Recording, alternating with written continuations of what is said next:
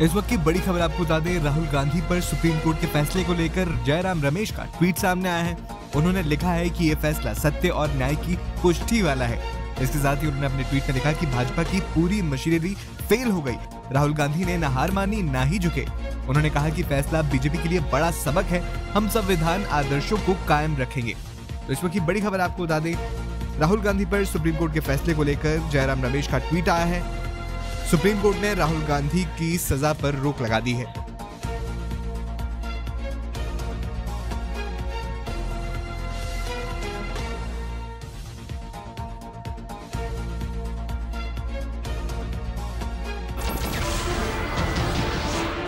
नमस्कार, मैं हूँ मानक गुप्ता।